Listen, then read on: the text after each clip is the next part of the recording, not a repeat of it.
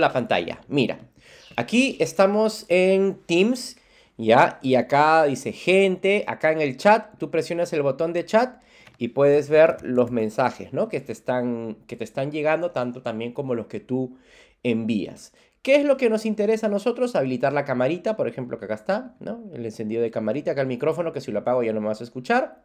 ¿Ya? Y acá hay un botón compartir. Yo sé que tú ahorita no me estás viendo, pero es lo que quiero que quede en el, en el video que estoy grabando, ¿ya? Entonces me voy a compartir. Este, Sí, usted nos, nos estamos, mm, lo, o sea, tenemos que ver su pantalla o lo tenemos que ver a usted.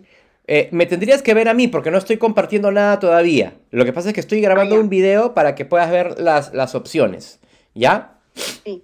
Muy Bien. bien. Entonces te vas aquí a la esquina superior derecha donde dice compartir y siempre cerciórate de que esté habilitada esta opción que dice incluir sonido del equipo. Yo sé que tú ahorita no lo estás viendo, pero te lo voy a enseñar en breve en un video.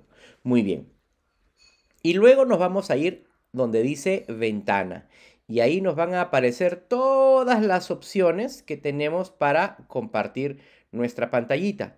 Por ejemplo, acá tengo una pantallita que acabo de compartir, que seguro ahora tú sí la estás viendo, ¿no? Sí.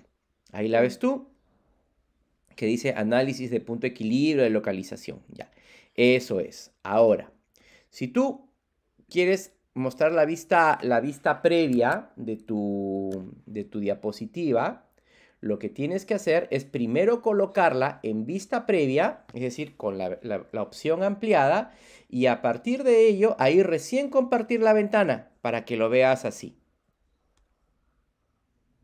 ¿Te das cuenta? Ya, muy bien. Ahora, ¿qué es lo que voy a hacer? Voy a detener este video que